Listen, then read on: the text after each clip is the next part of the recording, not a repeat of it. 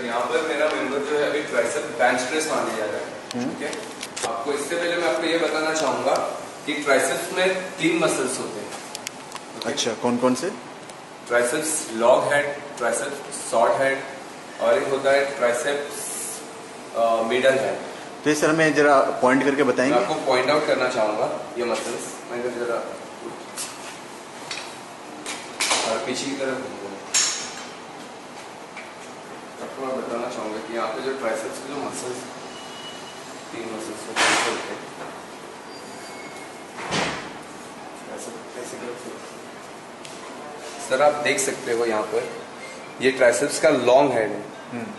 Okay जो कि inner triceps long head बोल सकते हैं। This is your outer short head okay और एक मसल जो होता है लॉन्ग हेड और शॉर्ट हेड के बीच में होता है। अच्छा।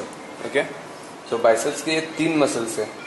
दोनों तरफ़ आप यहाँ से भी नोटिस कर सकते हो okay this is long head short head और थर्ड वाला जो रहता है लॉन्ग और शॉर्ट के बीच में से पास हुआ रहता है ओके ठीक है।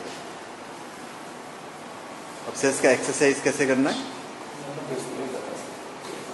तो आप नोटिस हो।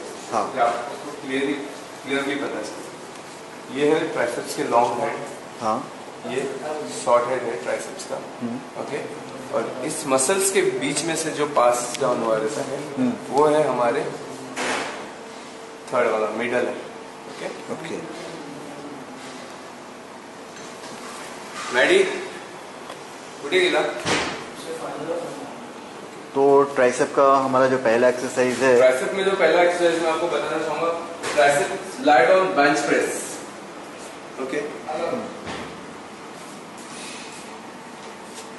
light on bench press जो है सर यहाँ पर आपको थोड़ा क्लोज ग्रिप पकड़ना है।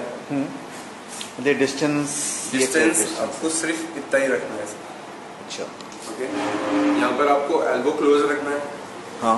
और फोरहेड में लेके जाके you have to extend your hand okay so यहाँ पे मेरे मूवमेंट हो रहे हैं elbow flexion and elbow extension okay ये सर नीचे कहाँ तक बेंड करना है? फोर हेड फोरहेड तक। अच्छा। और पूरे हाथों को पूरा एक्सटेंड करना है। सो माय ट्राइसेप मसल्स वो वो ये ठीक है। इसको सर उसी तरह हमको हमेशा वेट बढ़ा के? यस सर हर एक सेट में वेट को इंक्रीज करना है रेपिटेशन को डिक्रीज करना है।